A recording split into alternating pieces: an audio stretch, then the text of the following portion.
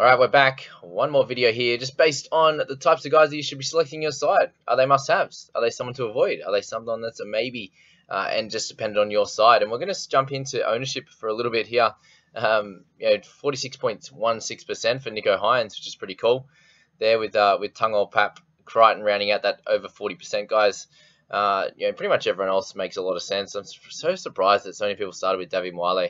Um, just assuming that he was going to be a gun. That's the, the, the big worry with the real real uh, youngsters. It's just that you know they all get brought in slowly. You see what's happening with Savage, for example.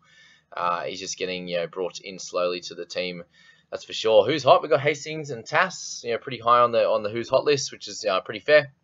You got guys like uh, Elliott, you know, Cotter, Cleary, uh, another 1.87% getting him in. You know, Crichton, Assey as well. Papali, Taumalolo, uh, a bunch of you know, people bring in those mids, which makes a lot of sense. And who's not? So Payne Haas is being traded out for over 5%, which is very interesting, given he's only probably going to be out for one week. But yeah, I can, I can understand a little bit.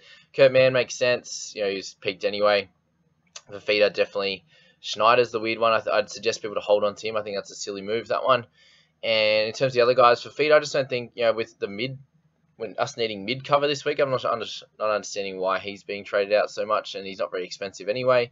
And then your Arthur's makes sense, Kobe Hetherington makes sense. Ilias, I don't understand why. Maxi King, same thing.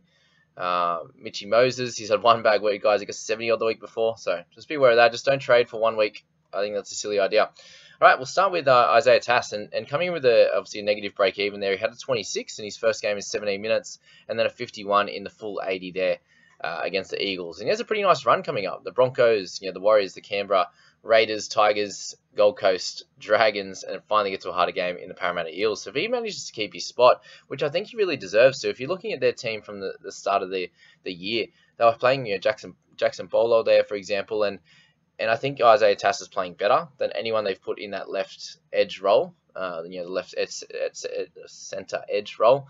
Uh, but yeah, the try assist line break, the try probably not going to happen every week. You know, the only one missed tackle, 19, is really nice to see. Uh, and the three errors, I suppose you could say, probably won't happen each week as well. So if you take a little bit of that all out, probably averaging somewhere around the 30 odd, and at 280k, you're going to make 100k or so pretty comfortably. Uh, for a cash down option, who, yeah, I think he's going to be pretty solid. I, I, can't see him being someone that is going to score you like a 17. You know, with that with that kind of tackle numbers there uh, in a game where they obviously were able to win that. It was a pretty high scoring game. So to have that many tackles and only miss one, I think was pretty impressive. And you know, going up against you know Gola, for example, and, and he he ran over him in one of his runs. So he's only going to get better and better with uh, with time on the park. So he's definitely an interesting option and owned by 11, you know, over 11% now. I think is a pretty solid one at 280k if you need a cash down this week. Jackson Hastings of uh, 575k now. Obviously, you know, pretty pretty cheap there, and a great option this week, you know, coming in with, with three super good scores there, 50, 63, and 76. Getting a lot in base. Missed tackles aren't very high. Running the ball plenty. You know, he's had his lowest uh, run meters of 95 there.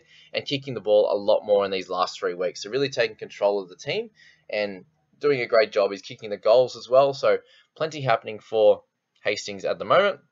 And their run isn't too bad. You got Manly, Cowboys, you know, Bulldogs, Rabbitohs there, and he's someone that's going to play over the Origin period. I think he's a, a, good person to bring in your side and owned by a high percentage in the top run 100 now. So Hastings definitely a man to be able to pick.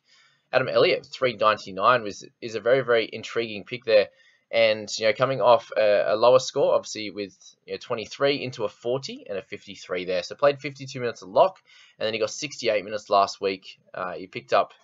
Don't know why he didn't. He wasn't given that line break, but he went straight through anyway. So uh, yeah, helpful for those that are potentially picking him up now. But the 35 tackles, the three, the two tackle breaks, the three offloads, uh, 123 meters. So if you can stick anything towards what he did in round seven, getting 52 minutes without doing anything spectacular, uh, just the 31 tackles. You have a penalty conceded with one turnover tackle, a 77 meter game for him. Anyway, around that 35 to 40 odd, you know, with that random big game, which he's capable of. I think he's going to be a solid option. Just be aware, he's uh, playing for Sticky and the Raiders, and who knows what's going to happen there. But the mid and the edge duel is really, really important this week with a few uh, guys out in that mid position. So he's that cheaper guy that I'd be saying is a good selection. If you've got Leo Thompson, just hold him and, and use him as, a, as cover for sure. All right, Cotter, also another guy great for cover with the mid and the hooking position. Uh, but especially that mid there.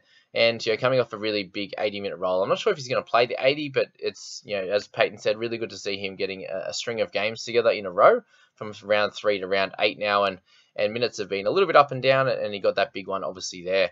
Don't I wouldn't expect the 80 every week, but definitely a solid option. Obviously, you know the one low score of 34, and anything other than that has been a 46 uh, plus. So at 642, definitely got around you know 60k to make uh, to get him up to that five, uh, sorry, that 50 average and 700k. So at worst, you get a, a cut price, you know, a little bit of a cut price keeper that can, you know, be your 17th, 16th, 17th, 18th man at the end of the year. He plays that first buy round. Plenty to like about Cotter and you know Taumalolo, these types of players. We've already spoken about being a buy as well.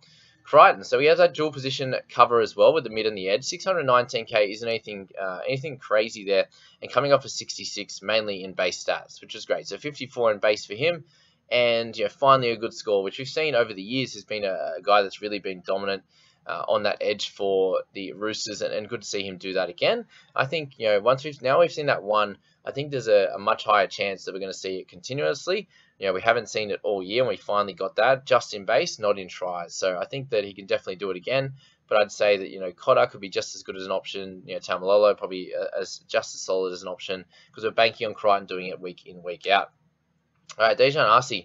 So bit of a strange one with him. We've got him for you know one game this week, this year, sorry, with a 35. Uh, with two try assists and you know nothing really going wrong for him. A couple of errors, obviously, but the you know 14 tackles for one miss was solid. You know, got some kick meters, got the meters gain there. Just for him at that price, I just think you can go for, obviously you get the dual position cover. I think you go for Tass better uh, as a better option, 36k cheaper. And um, obviously doesn't have the dual, but yeah, I think just has more time in the in the team, definitely. Uh, and then you know, potentially a chance to make more money. So if you need him, you know, if you think he's good, then that's fine. But I think you know Tass might be a little bit better. Just going off, obviously guessing a little bit as to if these guys can stay in the side, but that's obviously part of the game.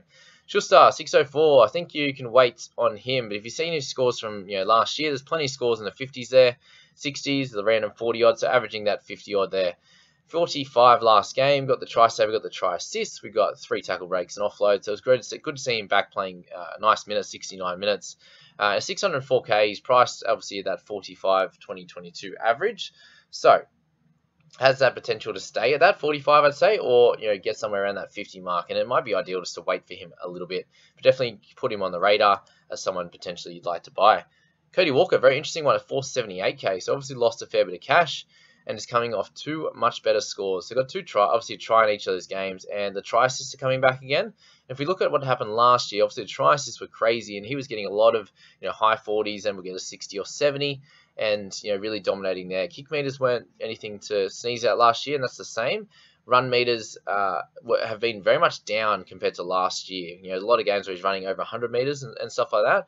There's definitely a little bit of a risk there, but I think that he could be someone that is going to slightly improve over the season. You see what's happening with the with the Roosters. You see what happened with Tedesco over the first you know six to seven, oh, about six weeks there. That he took a little bit to work into the season, and we're seeing that with Cody Walker and, and coming back into two good games there. I think he has the potential to average somewhere in the 40s, you know, on a, on a regular basis, which is what he's done in previous years. So if you're banking on that, he's, you know, 10 to 15 points undervalued, probably closer to about that 12 mark, I'd say, for a 45 average would be safe and about 150k to make. So definitely someone that's on, to be on your radar as not playing Origin as well and could be a pickup in your side. All right, Tuipulotu. A 312k now is a little bit annoying, but you know, coming off a, a really nice game and probably you know, his best game of his career, obviously. I just think he was really, really dominant. You know, ran for 193 meters, six tackle breaks. You know, really, really, you know, just a just a strong game for a young fella, and he'll you know get a lot of confidence out of that. I think he'll probably make a bit of cash, but it's like you know, can you fit him into your side when you've got those other options there? He's wing fullback cover, so potential uh, if you want to go him over Dejan Arce for for example. But yeah, definitely on the radar as, as someone we need to speak about uh, who is a potential trade in. And last one, I just wanted to have Will Smith as probably avoid this week. We've got Jayden Campbell on the extended bench. You know, Brimson will go back to six. Will Smith will go back to the bench. So, you know, does score well when he gets his opportunity at, you know, in the six role of 39 to 42. But how long he gets that for, yes, he'll make a little bit of money over the next few weeks, but there's every chance that Campbell could even go to one this week and, and Brimson back to the six role. So that's it with Will Smith, and that's it with this video, guys. I hope that really helped you that deeper dive into those players and you know being able to make your trades this week. I will jump in and do a Q&A video as well, covering uh, a bunch of those YouTube comments there, um, and a couple more videos just based on you know potentially my trades as well. And uh, we'll go from there. Have a good day, guys.